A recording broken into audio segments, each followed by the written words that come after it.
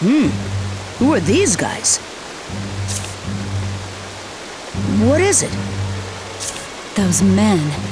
There's something about their looks that makes me feel a little uneasy.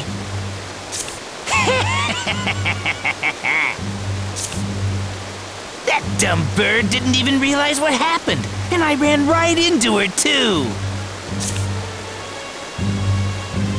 It's her own fault for loafing around Mercetto like that. She was asking for it. Who cares? Hurry up and open it. Oh ho, a necklace! Looks like it'll fetch a good price. Like you'd have any idea. Shut it! That is if you want to keep your tongue. Anything else in there? Nah, that's all. What? Hmm. That was a waste of time.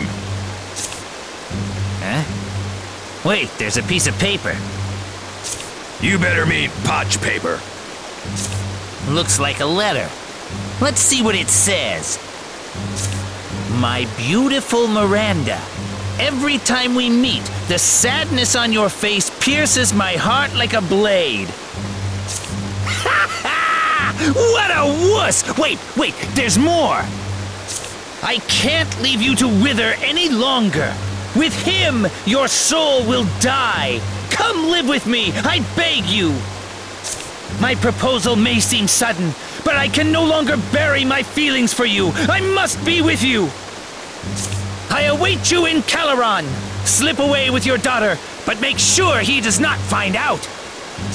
From your devoted servant. That's the end. Wow. That's some hot and heavy stuff. Kinda stirs something deep down. Keep your stirrings to yourself, moron. Love letters won't feed this belly. Let's hurry up and sell that necklace. Huh? Hmm. Finally noticed us. Huh? Where'd they come from? Should we take him out? I'm in. That necklace won't bring much on its own.